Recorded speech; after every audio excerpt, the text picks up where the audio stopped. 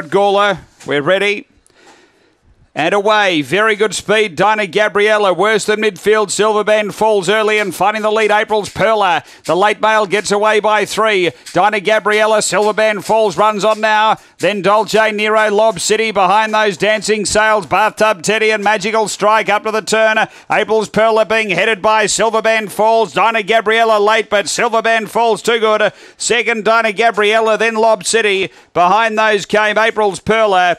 Uh, next is Dolce Nero, Bathtub Teddy, Dancing Sails, Magical Strike, 2308.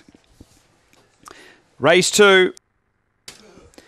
Number eight, Silverband Falls. Double uh, or back to back wins for this greyhound. A fawn dog, June 2014, Cape Hawk, Rustic Rita.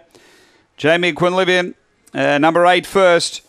Second to one, Dinah Gabriella, Todd Kelly. A dark brindle bitch, November 2013. A Fleet Alex, Cheyenne Bale. Number two, Lob City, Kel Douglas. A black bitch, December 2013. Premier Baloney, Barbara Bale.